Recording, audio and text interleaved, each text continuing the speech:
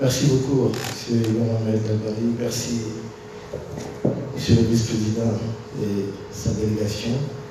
Je voudrais tout d'abord vous présenter le remerciement euh, très fraternel du président de la République, du Premier ministre, chef du gouvernement, de l'ensemble de mes collègues du gouvernement, du peuple de Guinée pour avoir accepté notre invitation de venir voir en Guinée ce que nous sommes en train de réaliser. Nous vous remercions également aussi d'accompagner et de procéder à l'installation officielle et à la présentation officielle de la nouvelle directrice des opérations et du nouveau représentant résident.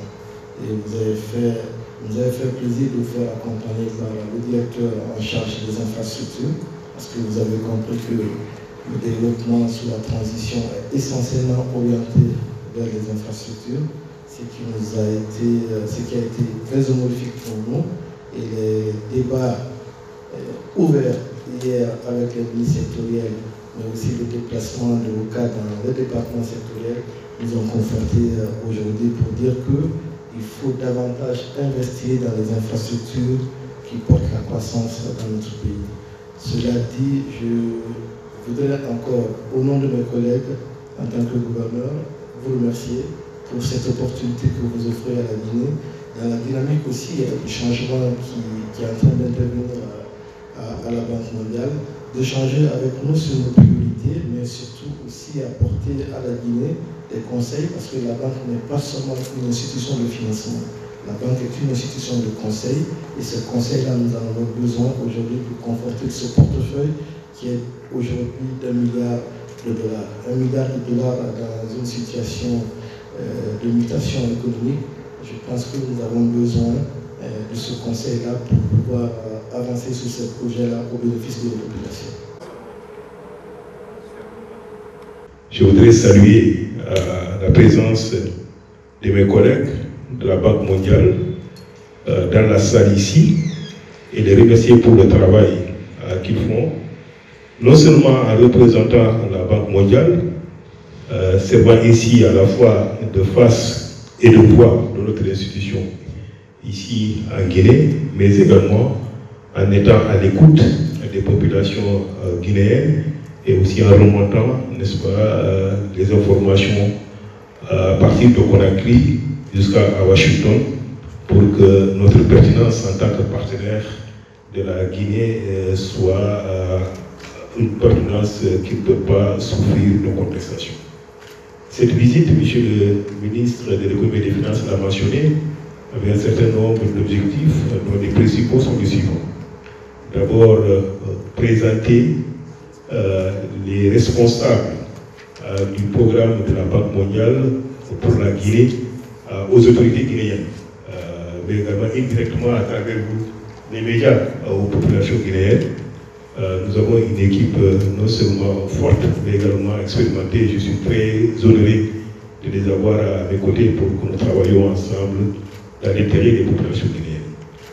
Euh, le deuxième, nous avons ensuite, une pause relativement courte, depuis les événements du mois de septembre, fait une évaluation pour voir dans quel contexte et selon quels critères nous pouvons reprendre de manière intégrale euh, notre partenariat avec euh, la Guinée. Ce travail a été fait par les techniciens de la Banque mondiale, il nous paraissait utile. Euh, moi-même, mais également la nouvelle directrice du charge des opérations, de venir échanger avec les autorités pour voir si déjà des premiers feedbacks peuvent être remontés à notre, à notre niveau, mais euh, pour pouvoir partager avec eux euh, les concours de cette nouvelle reprise afin que ça soit véritablement euh, utile. Dans ce contexte de crise dont les impacts sur les populations en particulier sont, sont, visibles et certainement j'aurai l'occasion de revenir là-dessus. le troisième objectif, c'est de voir en échangeant avec les ministres sectoriels et tous les responsables qui sont impliqués dans la gestion euh, de notre portefeuille, comment faire en sorte que ce portefeuille euh, ait des résultats rapides à travers non seulement une exécution dans le calendrier qui est convenu pour chacun des projets, mais surtout par des résultats tangibles, donc des, résultats qui peuvent véritablement impacter positivement, n'est-ce pas, chacun des secteurs et chaque niveau d'intervention. Donc voilà les éléments que je voulais partager avec vous à ce stade et je vous remercie, monsieur le. Je m'appelle Bachir Silla euh, du site Guinée-Eco.info. Monsieur le vice-président a parlé tout de suite de, feedback. Je voudrais réellement qu'il partage ce feedback avec nous, euh, de ces échanges avec euh, les autorités guinéennes. L'autre aspect de la question, c'est quelles mesures la Banque mondiale pourrait envisager vis-à-vis -vis de la Guinée au cas où il y aurait un glissement de calendrier du chronogramme de la transition. Merci. Comment s'afficher pour que le pays puisse tenir le cap dans la posture de pays à revenu intermédiaire et quelle est l'attente par rapport à la Banque mondiale Et hier aussi, c'est la dernière question, vous aviez demandé à la Banque mondiale de briser les tabous et de revenir à ses premiers amours, notamment dans le financement des infrastructures. Vous avez bien noté la présence du directeur des opérations. Est-ce que la banque est prête à accéder aux doléances de la Guinée pour financer notamment les routes, les secteurs énergétiques, les, grosses infrastructures, d'autant plus que notre capacité d'endettement maintenant se porte bien par rapport à notre position euh, de pays à revenu intermédiaire? Je vous remercie. Pour ce qui concerne euh, les feedbacks que nous avons reçus euh, des autorités béninoises, euh, excuse, guinéennes, quand on couvre beaucoup de pays parfois, on, fait ces genres de lapsus, je m'en veux euh, pour cela. Alors, elles sont euh, diverses et variées. Euh, alors, il souhaiterait que les procédures soient assouplies afin qu'ensemble nous puissions aller plus rapidement dans l'exécution des programmes qui existent. Monsieur le ministre l'a rappelé, nous avons un portefeuille qui est large, à peu près 19 opérations, des engagements nets qui dépassent de 1 milliard euh, de dollars. Nous avons de nouveaux projets qui sont venus entrer dans le portefeuille, plus de 200 millions de dollars sur les, derniers cinq mois, depuis que nous avons repris. Euh, et donc l'ensemble de ces programmes-là euh, devraient contribuer, à l'amélioration des conditions de vie des populations. Mais pour que ceci puisse se faire, il faudrait déjà qu'ils s'exécutent. Donc il y a des lourdeurs administratives partagées peuvent exister au niveau de la Guinée comme ça peut exister au niveau de la Banque mondiale. Nous, avons échangé autour de cela dans le cadre d'une réunion importante euh, que M. le ministre de l'économie et des finances a présidé hier et autour de lui, euh, l'ensemble des ministères sectoriels euh, étaient dans la salle et côté de la Banque mondiale, tous les cadres qui sont en charge des projets également étaient là. il souhaiterait également qu'on se focalise peut-être sur un certain nombre de secteurs euh, plus structurants, euh, à l'effet d'avoir, euh, si vous voulez, des externalités positives plus fortes sur l'ensemble de l'économie. Et quand on parle de ces secteurs, bien sûr, pour la Guinée, on va passer à, l'agriculture, on va passer à, l'énergie, on va passer aux infrastructures. et ces secteurs constituent au niveau de la Banque mondiale également des priorités, euh, en tout cas pour ce qui concerne euh, la région euh, de l'Afrique. Et notre directeur en charge des infrastructures a par la suite rencontré ce matin les différents ministres en charge du secteur pour aller un peu plus en profondeur dans la situation de chacun de ces secteurs pour nous permettre justement d'évoluer dans notre dialogue à venir sur les concours possibles de chaque opération que nous allons partager dans ces secteurs.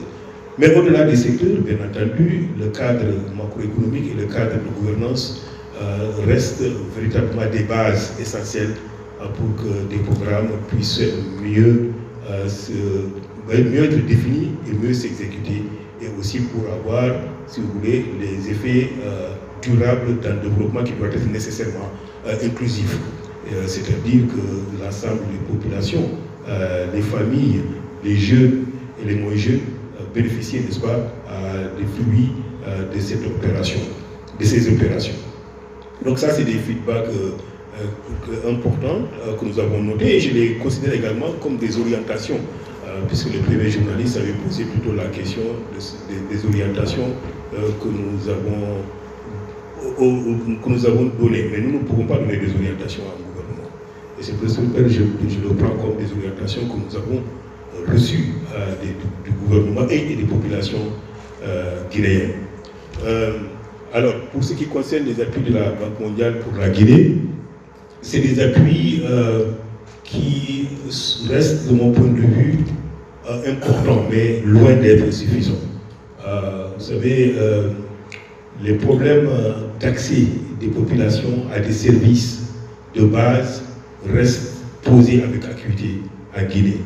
Euh, j'ai été informé que euh, l'année passée, les résultats des examens scolaires en termes de taux de réussite, euh, ça se situait autour de 7 ou 8 Cette année, c'est beaucoup mieux, mais euh, peut-être moins de 30%. Si je me trompe, euh, évidemment, je m'en excuse, vous pouvez le corriger, mais en tout état de cause, c'est très insuffisant pour, n'est-ce pas, un pays dont la population est jeune, un pays qui a besoin de compétences en ressources humaines, justement pour pouvoir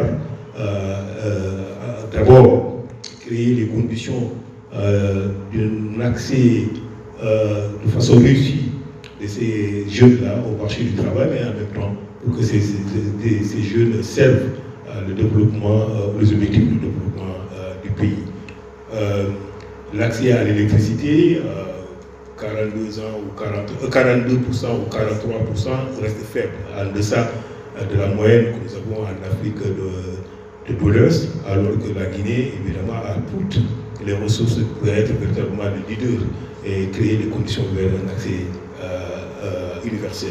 Et je peux donner euh, d'autres éléments. Donc, quand nous évoluons en tant qu'institution de développement dans un contexte comme celui-là, nous ne pouvons qu'être exigeants, peut-être le monde n'est pas celui qu'il faut, mais en tout cas regardant pour voir comment d'abord les, ressources euh, guinéennes elles-mêmes sont orientées vers, les différents secteurs.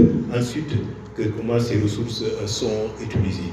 Et en tant que partenaire, euh, convaincu par conséquent de la bonne utilisation des ressources, comment faire en sorte que nous puissions accroître, n'est-ce pas, nos allocations financières pour la Guinée, ou bien que nous, nous, en faveur de la Guinée euh, pour pouvoir accéder à d'autres ressources, euh, idéalement euh, concessionnelles, pour ne pas véritablement, même si la, situation de l'endettement de, de, la Guinée n'est pas aussi préoccupante comparée à d'autres pays, mais il faut rester vigilant pour que la situation ne, ne s'aggrave et par conséquent ne limite justement les capacités à mobiliser davantage de ressources euh, pour le, financement, du développement. Donc, euh, je pense que nous allons continuer à faire ce plaidoyer, nous allons continuer à militer pour une augmentation euh, des ressources pour, pour, pour, pour, la, la, la Guinée. Alors, il m'a été posé la question de voir quelles sont les mesures qui sont envisageables euh, n'est-ce pas, pour, le, renforcement de la performance des différents programmes que la Banque mondiale euh, finance euh, en, Guinée. Il faut d'abord faire un diagnostic approfondi pour voir pourquoi la capacité d'absorption est faible. parce qu'il peut avoir plusieurs raisons, et ces raisons peuvent varier d'un pays à un autre.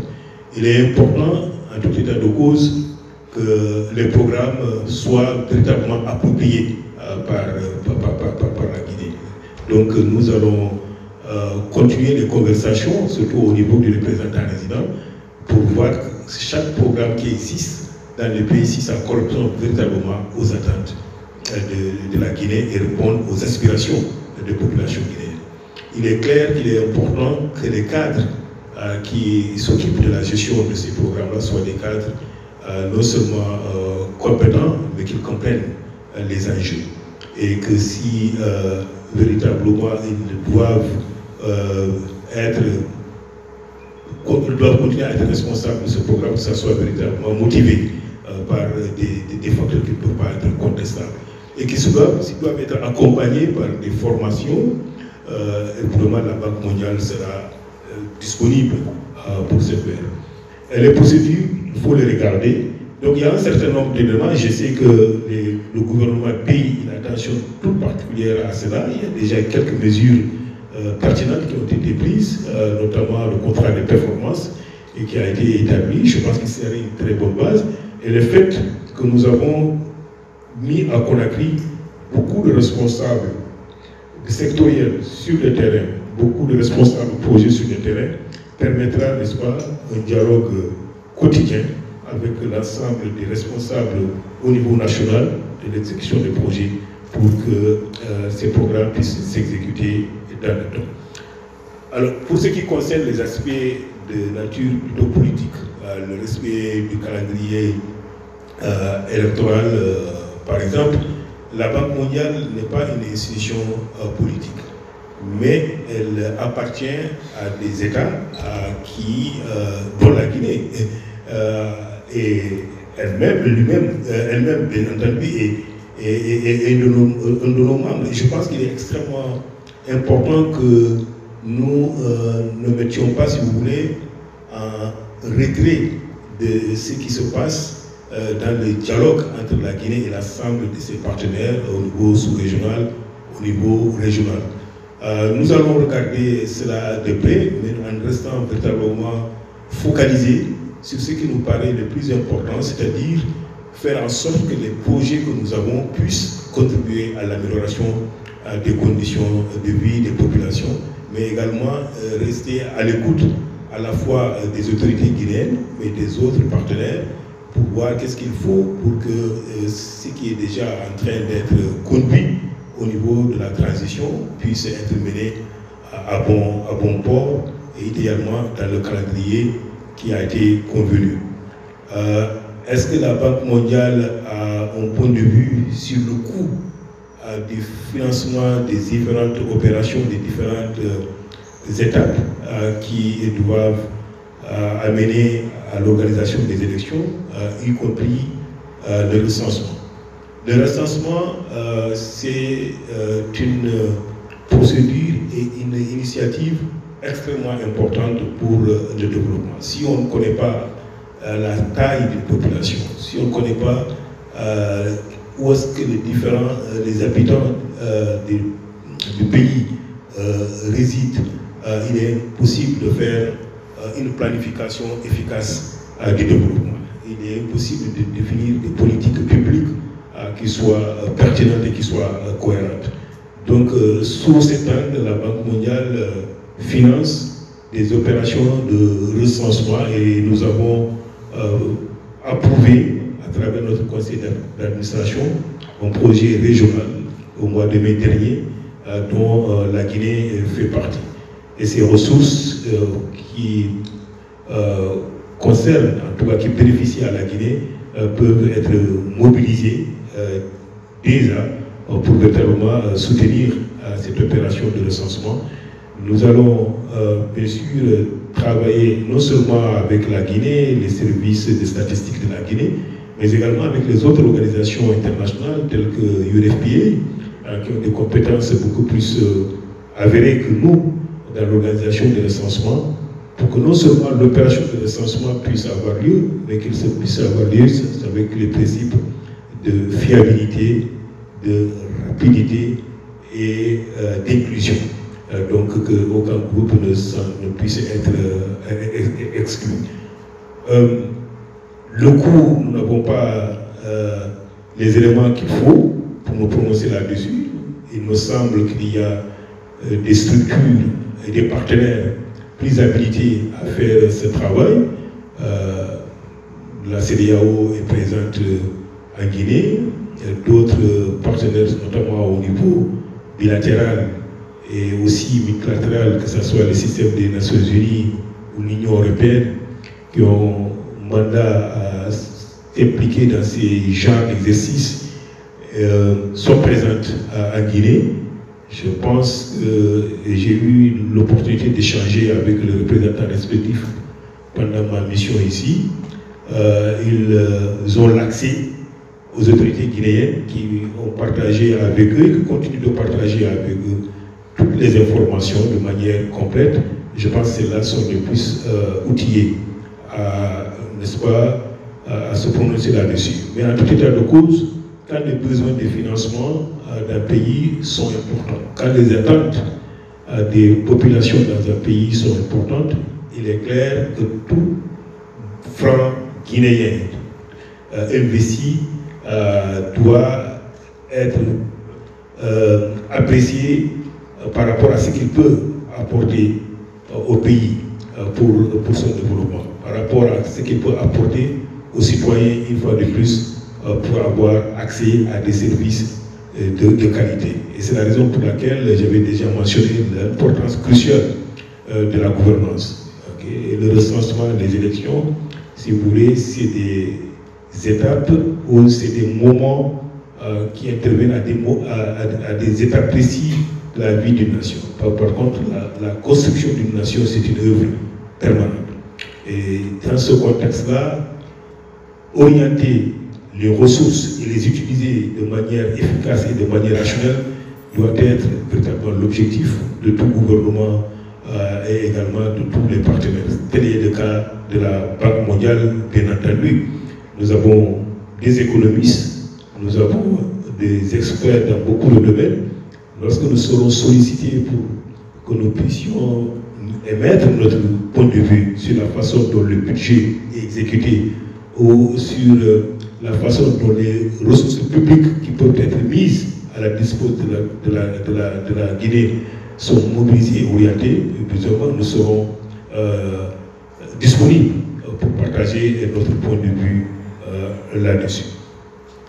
Euh, euh, je pense que la dernière question qui me concerne, c'était est-ce que la Banque mondiale est disposée à financer les routes, les infrastructures? Je pense que lorsqu'on interroge l'histoire des relations entre la Guinée et la Banque, vous allez constater que toutes les premières opérations que nous avons financées en Guinée, ça concerne essentiellement le domaine des infrastructures.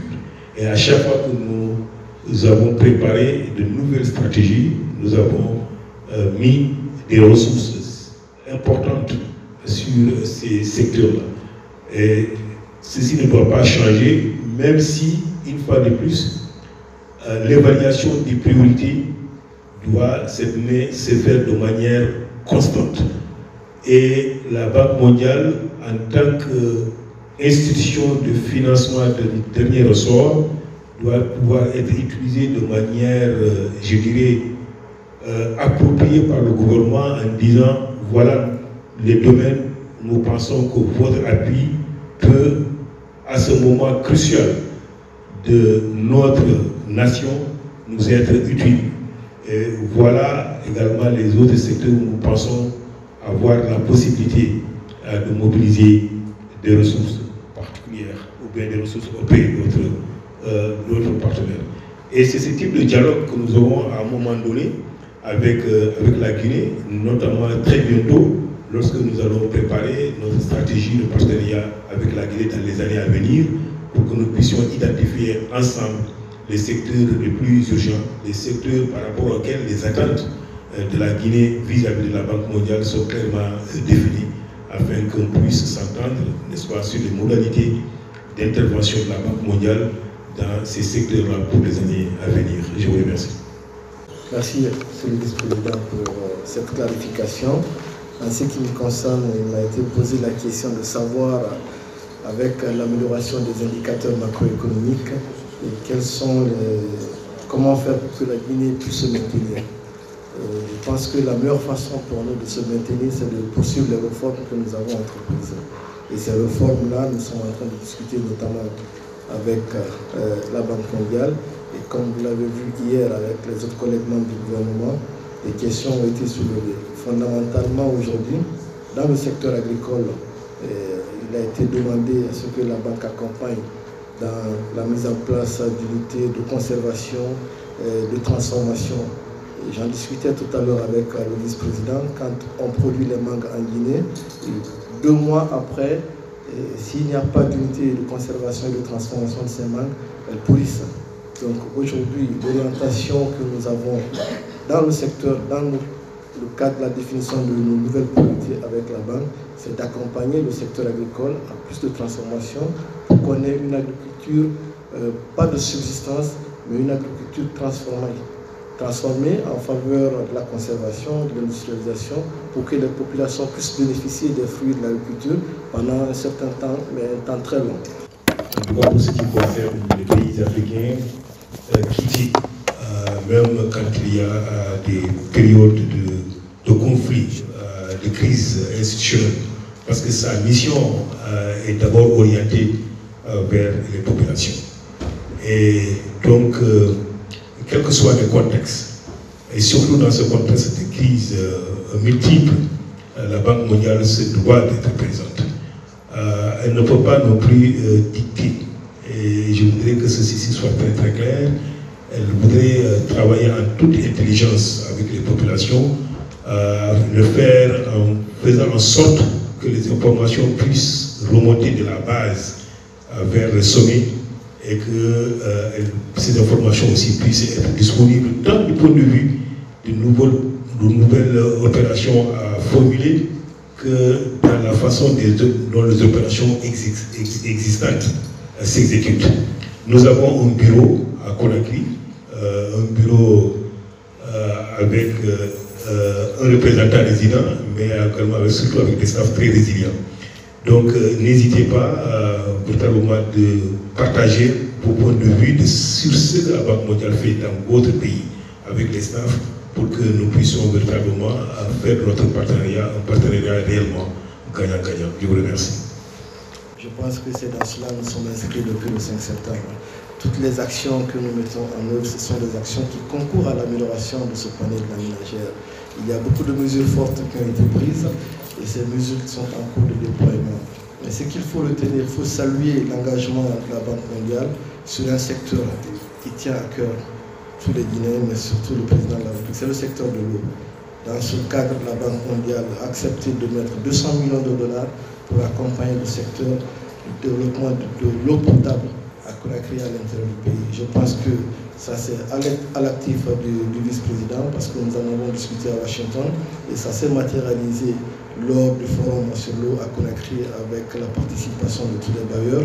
Et d'ailleurs, dans le cadre de notre nouvelle euh, stratégie de partenariat avec euh, la Banque mondiale, le secteur de l'eau sera toujours la priorité. Et le président l'a rappelé lors de leur entretien hier, que la Guinée est engagée, résolument engagée à mettre en place des réformes, en intelligence avec euh, la Banque mondiale. Et nous sommes preneurs aussi des conseils avisés et stratégiques. Tout ce qui va dans le sens de l'amélioration des conditions de vie des populations guinéennes, c'est qui est une mission fondamentale à la banque. Le président a demandé au vice-président de nous accompagner dans ce sens-là. Le Premier ministre l'a rappelé aussi et les différents collègues membres du gouvernement l'ont rappelé. Je pense que nous sommes inscrits dans la bonne dynamique depuis l'amélioration des indicateurs macroéconomiques, c'est qui est une base fondamentale. Parce que quand les indicateurs macroéconomiques s'améliorent, ça facilite aussi la discussion pour le vice-président qui va défendre le dossier guinéen au niveau euh, de, la Banque mondiale. Et n'oubliez pas qu'il est à la tête de 22 pays avec euh, une enveloppe de 40 milliards de dollars. Euh, ça mérite d'être salué qu'il effectue le déplacement de Conakry pour venir voir de visu ce que nous sommes en train de faire et pour pouvoir porter ce dossier-là au niveau de la Banque mondiale à Washington. Merci. Monsieur Ousmane Diagana, est-ce qu'on peut les applaudir s'il vous plaît? Sur le 2 Sim.